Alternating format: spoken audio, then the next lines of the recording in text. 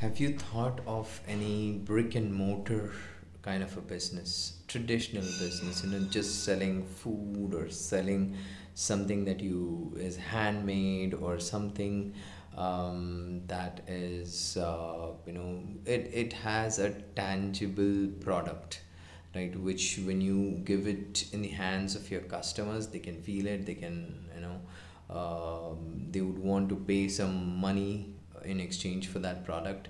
Um, have you thought of those things, uh, how you can scale them? Uh, because uh, when it comes to startup, a lot of people think you know you should only be doing an app, mobile app, or a website, um, a marketplace, a platform, or uh, you know something in artificial intelligence or machine learning or something very high tech it's not necessary see a lot of businesses have actually evolved from very traditional businesses to something advanced reliance is one such company right they uh, they were into just into clothing and stuff when they started out in fact uh, Dhirubhai Ambani also has sold papads and all of that. So have you thought of such small little business which can actually generate cash flow?